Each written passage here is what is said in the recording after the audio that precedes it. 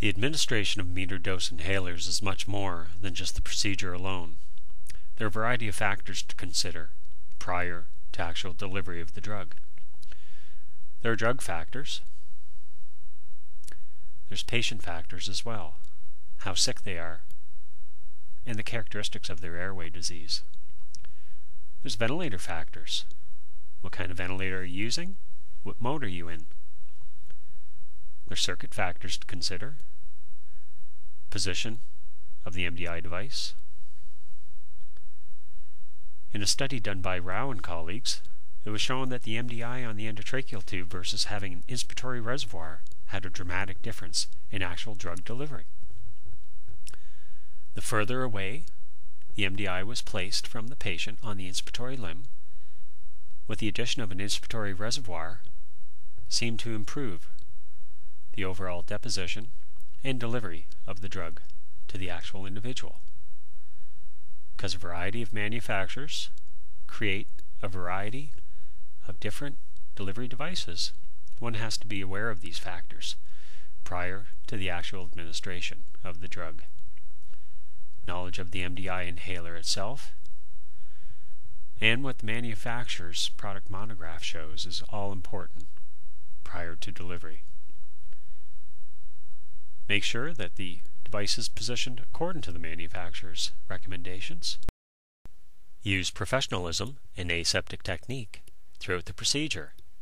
Ensure that hands are thoroughly washed at a sink or with an approved alcohol-based hand product prior to the commencement of the procedure and the donning of gloves.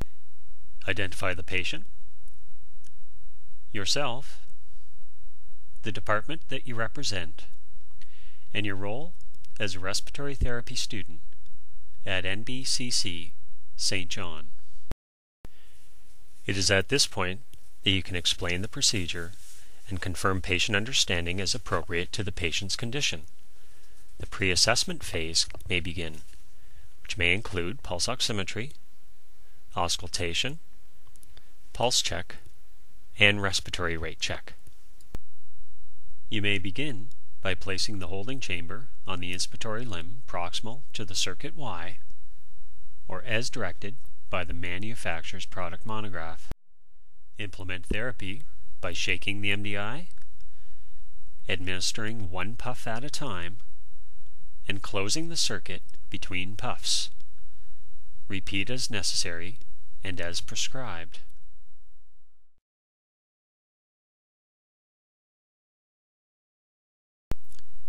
During this time, you should be observing the patient for unfavorable signs and symptoms by observing both the ventilator and the bedside monitor.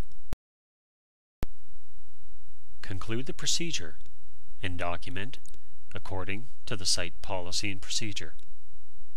Notify other personnel as appropriate, including the preceptor to whom you are assigned. MDI administration on the ventilator can be mastered in a short series of steps. Pay attention to the factors related to drug delivery and the placement of the MDI device to be successful in this clinical based objective.